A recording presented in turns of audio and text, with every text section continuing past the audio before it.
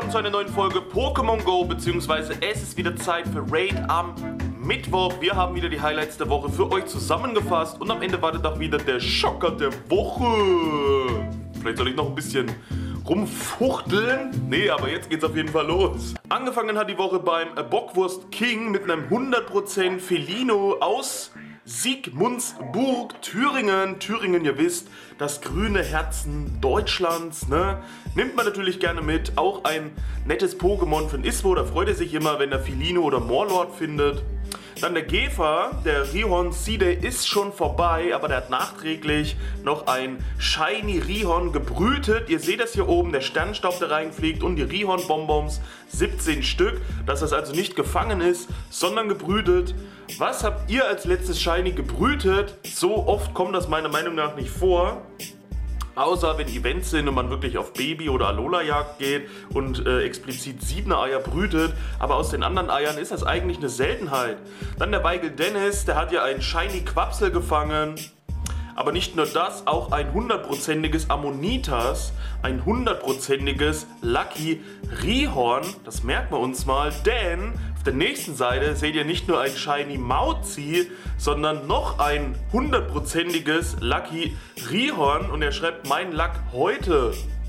Das ist also alles in kurzer Zeit entstanden. Ihr seht, hier ist aber ein gelber Account, hier ist ein roter Account, also Beide Accounts, der gelbe und der rote, haben ein hundertprozentiges Lucky Rihorn bekommen. Das ist auf jeden Fall sehr krass. Richtig gutes Pokémon, richtig starkes Pokémon, richtig cooles, starkes, habe ich beides schon gesagt. Sieht auf jeden Fall gut aus. Wenn das noch shiny gewesen wäre, richtig krass. Dann auch der Rob.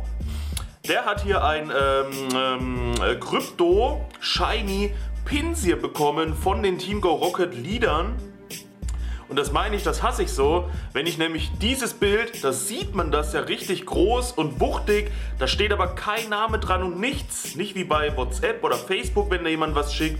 Deswegen muss ich das immer so abscreenen, dass ich auch weiß, von wem das überhaupt war. Aber da ist das Bild halt klein und mickrig, weil es nur so in der Vorschau kurz gezeigt ist. So sieht es natürlich besser aus, deswegen muss ich dann immer zwei machen.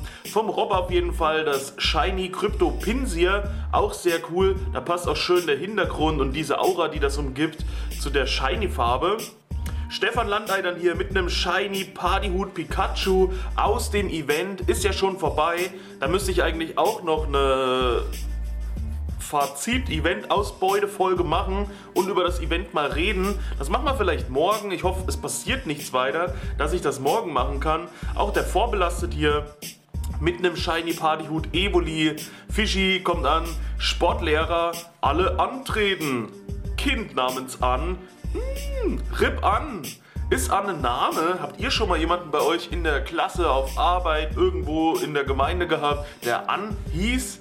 Aber theoretisch ist alles möglich und dieses verschreckte Pikachu einfach alle antreten und an macht sich in die Hose dann der Sandro auch, erstes Ei, hat nicht mal einen normalen Starter mit Hut, aber hat natürlich ein Shiny Glumanda mit Partyhut bekommen, denn das war die ganze Zeit ja so, dass ihr in den 7er Eiern wirklich nur die drei Starter mit Partyhüten drinne hattet. Jetzt nach dem Event sind wieder die Fossil Pokémon zurück was die Leute auch nicht verstanden haben, die haben gesagt, okay, jetzt gehe ich weiter auf äh, Babyjagd, auf äh, Alola-Jagd, aber es wurde ja vor dem Event angekündigt, dass da eben jetzt die Fossil-Pokémon drin sind. Und während des Events hat sich das geändert für den Event-Zeitraum, aber nach dem Event sind dann eben auch wieder die Fossil drin, weil das war ja das Offizielle, was normal stattfand. Während des Events konntet ihr aber nur Glumanda, Shiggy und Bisa Sam brüten, alle mit Partyhut und haben etliche, glaube ich, auch äh, schön den Shiny mitgenommen. Bockwurst King, gerade wild gefangen, ein Shiny Stolunior. Level ist zwar nicht so krass, aber hat relativ gute IV, vor allem auch 15 Angriff. Pogefreak Red, When this asshole comes back, hüpft the Coronavirus. Oh mein Gott. Jetzt wissen wir natürlich, was passiert ist, wer dran schuld ist. Pokémon hat das eingeführt. Dann Bockwurst King nochmal mit einem Shiny Partyhut Evoli. Bockwurst King Shiny Nummer 3 heute auch mit einem Partyhut Pikachu. Hä? Jetzt muss ich mal zurück. Wo war denn das vom Ach nee, das hat sich auch gefreut, aber Science freut sich einfach noch ein Stück mehr. Nicht, dass ich da irgendwas Falsches erzähle. Dann beim Dragonite, heute mal einen Lauf. Dafür kam lange Zeit auch nix. Der hat einen Shiny Panzer Aeron mitgenommen. Der hat noch ein paar Luckys gehabt, die habe ich aber nicht mit reingenommen, denn die hatten jetzt nicht so sonderlich gute IV. Da nehme ich ja eigentlich immer nur äh, ja, 100er oder 98er vom Bockwurst King, so, obwohl da habe ich auch aus Versehen eins gelöscht. Dann auch noch Dragonite, aber aus der Nähe von Steinbach, Hallenberg, Thüringen ein Shiny Alola Mauzi. Muss noch ein altes Ei gewesen sein. Und dann hat er noch ein Shiny Onyx bekommen, sogar auf relativ guten Level. Auch einigermaßen gute IV, 89. Da braucht er aber keine mehr davon. Er hat schon drei normale Onyx jetzt noch als Shiny und ein Stalos entwickelt. Onyx sowieso immer noch erhöhte Shiny-Rate, ne? Auch als das in die Rampenlichtstunde kam, haben einige da eins mitgenommen. Jetzt seht ihr, jetzt wissen wir, wie Dictri unter der Erde aussieht von Pokefreak Red. Oben so richtig böse und brutal und unten seht ihr dann was im Backstage-Bereich der WWE vor sich geht, vor allem diese rosane Nippel dazu und dieser rosane Slip, also ich glaube, so ein Bild kriegt man nie wieder aus dem Kopf. Dann der Dennis Weigel wieder mit einem Shiny Glumanda Partyhut, mit einem Shiny Potrot ohne Partyhut, mit einem Shiny Shiggy mit Partyhut, mit einem Shiny Evoli mit Partyhut und mit einem hundertprozentigen Shiggy mit Partyhut. Der hat also ordentlich abgesahnt, abgegrast. Der hat ordentlich abgesahnt. Dagro mit einem hundertprozentigen Unra Tytox, auch eins der neueren Pokémon jetzt. Dieser Haufen Müll, einfach nur, nimmt man aber gerne mit. Auch Dagro mit einem Shiny Pikachu mit Partyhut. Auch Dagro mit einem Milzer gebrütet. Ich glaube, das war sogar sein Pokédex-Eintrag. Und gleich ein 96er. Zwei Werte auf 15, also das auf jeden Fall aufheben. Und alle Sonderbonbons, die man jetzt kriegt, würde ich einfach da reinpfropfen und das irgendwann mal entwickeln. Warum nicht? Ein 96er, das ist, wenn ihr einen 96er Rayquaza bekommt mit den Werten, würdet ihr das ja auch hochziehen. Dann macht's mit Milzer doch bitte auch. Dann der Hannes hier mit einem Shiny Kaumalat. War, glaube ich, auch 23 Bonbons. War das auch ein äh, aus dem Ei gebrütet Pokédex-Eintrag und Shiny, direkt das erste Shiny aus dem Ei direkt. Der, der da ist, 86, noch mit einem Shiny Partyhut Evoli. Ihr seht, da gingen richtig viele raus. Bockwurst King 100%, Pico Chiller, Frank Behren mit einem Shiny Sichlor, dann Fischi. Wer die Folgen verfolgt hat in äh, Erfurt, da müsste heute Abend übrigens, genau heute Abend 20 Uhr, müsste die Rückkehr aus Erfurt kommen, das Wiedersehen mit Adi. Und dann sind die Folgen aus Erfurt eigentlich alle um. Aber ich habe ja da einen Raid gemacht, wer im Glashaus sitzt, ne? Und habe ewig diese blöde Arena gesucht, um da hinzukommen. Überall nur Baustelle und ich habe mich halt 20 Mal verlaufen. Und der Fischi jetzt ganz locker, wer im Glashaus sitzt, at MC Ramses, ne? Wer im Glashaus sitzt, Mission completed. Der war nämlich auch da, einfach bei der Arena, bei diesem Glashaus. Sehr coole Sache dass er so. Adi, was ist denn schon wieder? Der Adi flitzt schon wieder durch die Gegend wie so ein Karnickel. Vorbelastet, aus einer Quest, Shiny Carpador noch mitgenommen. Äh, Dennis Weigel endlich, Shiny Wampel. Dann der Alex Hoffi, sowas nimmt man gerne mit. Ein hundertprozentiges Klon Glurak. Und das sieht ja richtig genial aus. Als hundertprozentiges würde ich das auf jeden Fall hochziehen. Vor allem, weil die ja auch die äh, speziellen C-Day-Attacken haben. Oder er tut sich halt für die 2500er Liga zurechtmachen, so können das auch, da muss er nicht so viel reinstecken. Der Konstin hier endlich auch mal ein Event Shiny mit einem Shiny Partyhut Pikachu. Eins ist kein Step, deshalb gab es noch eins, gleich noch ein zweites hinterher. Und Och nee, das ist schon wieder der andere. Und dann wieder der Alex Hoffi. Das habe ich gerade beim Aufräumen gefunden. Das, ihr seht immer, wenn die Leute was über äh, Discord schicken, ihr seht, wenn die Leute was über Instagram schicken, ihr seht, wenn die Leute was über WhatsApp oder sonst was, es sieht alles unterschiedlich aus. Jedes Mal muss man die Namen suchen, aber hier auch hundertprozentiges Partyhut-Evoli kann man ja nicht entwickeln. Da gab es ja auch Stress, ne, ob man Nidorino überhaupt entwickeln kann. Ich habe gleich gesagt, nein. Und ich hatte wieder mal recht, ne? wie immer, Ramses der Rechthaberische. Dann der Sören hier mit seinem 100% Quapsel, wo er auch wissen wollte, zu was er das denn entwickeln soll, Quappo oder Quaxo.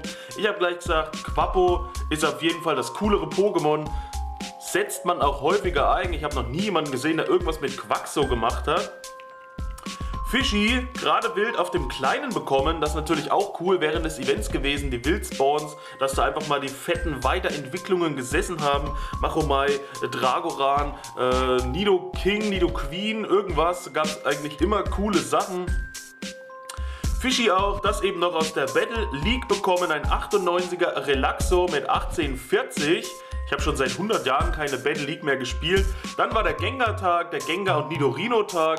Da hat der Max, die Blechgold-Sau, einfach ein hundertprozentiges äh, Gengar bekommen mit Partyhut. Frank Behrendt hier, Shiny Nidorino. Fischi auch mit einem Shiny Nidorino. Zwei Raids, beides, was man nicht braucht, warum auch immer. Ich nehme sowas gerne mit und auch ein hundertprozentiges Nidorino mit Partyhut. Ne? Da seht ihr schön den Unterschied, das normale und das als Shiny. Das finde ich sehr cool. Dieses bläuliche gefällt mir eigentlich richtig gut. Dann der Kenny auch hier mit einem Shiny Gengar.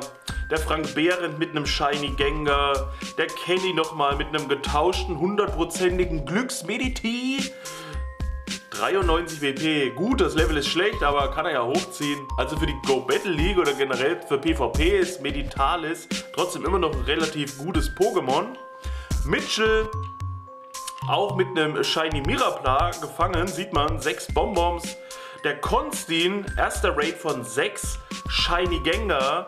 Noch dazu mit Wetterboost ein zweites Shiny Gengar. Und zu guter Letzt noch ein Shiny Nidorino, also bei 6 Raids 3 Shinies, das ist auch schon heftig. Obwohl ich habe Bilder von anderen Leuten gesehen, die haben wirklich 5 Gänger gemacht und 3 Shinies bekommen. Das ist heftig. Dann vom Hannes nochmal, hi Chef, kann heute nicht zur Arbeit kommen. Warum? Weil da liegt ein Relaxo im Weg. Das sieht toll aus, da würde ich mich sofort drauflegen und einfach mal eine Stunde schlafen oder mehr. Auch der Gro mit, vor allem auch, und Dagro dann mit seinem dritten 100er Lavita aus dem Rocket-Rübel mit dem kleinen, obwohl er gerade mal 91 Stück gemacht hat. Also bei 91 Rocket-Rübeln schon 300er Lavita, das ist echt krass.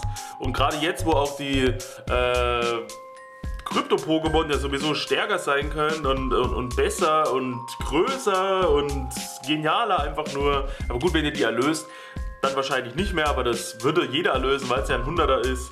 Dann eine Meldung, die fand ich richtig genial. Man kennt dieses Bild ja so oft, wie das immer irgendwo genutzt wird für irgendwelche Sachen und jetzt auf die momentane Bannwelle bezogen auch. Ein 100% Shiny Gengar. Er freut sich halt mega und dann danach die Benachrichtigung, sein Konto wurde für 30 Tage gesperrt. Schnauze voll und Handy aus dem Fenster geschmissen. Das finde ich so genial. Also Das müsste der Witz der Woche sein. Das trifft aber so viele Leute. Ich habe von so vielen gelesen hier, boah, auch erwischt, 30 Tage, 30 Tage, scheiß notwendig. Wenn die, die, wir stecken so viel Geld rein, wir machen so viele Raids und jetzt, bam, wenn die Legit-Spieler nur noch zählen, dann wird es der umsatzschwächste Monat. Mal gucken, wie sich das noch alles entwickelt. Aber ich glaube, die Hardcore-Spoofer, die basteln sich eh direkt einen neuen Account und machen einfach weiter und stecken dann da alles rein. Deswegen wird da wahrscheinlich gar kein Unterschied zu sehen sein.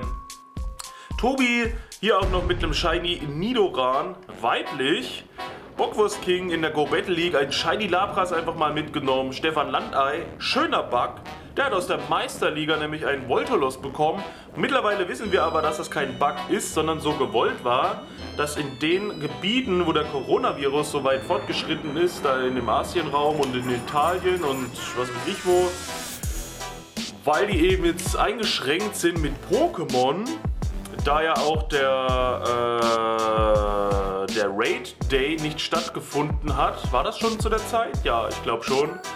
Dass eben für die es möglich sein sollte, jetzt auch legendäre und Raid-Bosse aus der äh, Go Battle League zu ziehen. Und dann haben sie das aber aus Versehen für alle freigeschaltet, wollten es dann wieder zurücknehmen, haben es mittlerweile jetzt aber doch für alle freigeschalten, dass sie jetzt also theoretisch auch legendäre aus der Meisterliga ziehen können. Wie lange das so bleibt, ob sie es nochmal umändern oder nicht, das wissen wir nicht, müssen wir im Auge behalten. Dann hier auch der Dennis Weigel, bestes 7er Ei, nicht 100% Glumanda mit Partyhut. Ich meine, wenn man es entwickeln könnte zu einem 100er Glurak, okay, aber so hat man halt nur was für die Sammlung, ist doch trotzdem aber selten, sage ich mal. Gab es auch nur in einem bestimmten Zeitraum, also würde ich auf jeden Fall aufheben. Bockwurst King auch aufgestiegen hier zu Level 40. Dann der Sören, weil wir es im äh, Livestream am Montag über Garados hatten, dass es doch eigentlich ein cooles Pokémon ist, aber immer mehr vernachlässigt wird, hat gesagt, hier passend dazu hat er einfach mal 400-prozentige Dosen gehabt und er hat auch endlich sein Quabo entwickelt, hochgezogen. Wenn das das ist, vielleicht ist das auch, ich glaube, er hat gesagt, er hat schon eins, was er zu Quabo gemacht hat und wusste nicht, was er mit dem zweiten machen soll. Aber Quabo trotzdem, guckt euch das an. Das sieht cool aus. Quaxo sieht auf jeden Fall nicht cool aus. Und damit macht man was, mit Quaxo nicht. Bier Benny in seinem ersten Raid, in seinem ersten Voltolos Raid gleich ein 98er mitgenommen. Nochmal ein Bild zur momentanen Bannwelle, wie man sieht.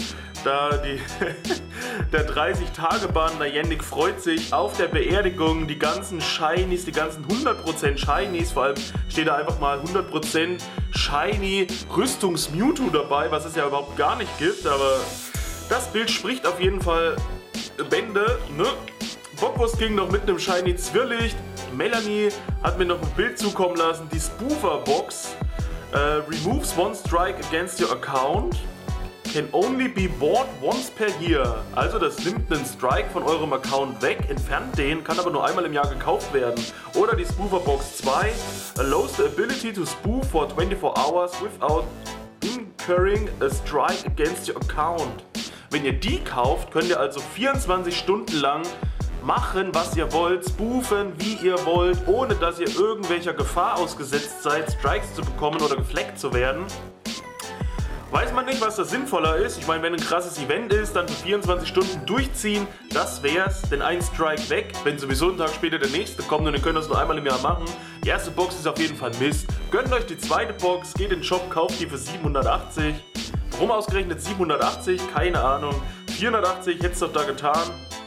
Dann der Stefan Landei mal ebenso wild auf dem Twink, also auf seinem kleinen Account, noch ein Shiny Mushas. Da hat der Gefer ja auch am Raid Day eins mitgenommen, Shiny Mushas. Mitchell mit einem 100%, Traunfogil, Terrorzigge hat sich Entei gegönnt, Krypto Entei, was mir ja einfach komplett entgeht und was ich nicht haben werde.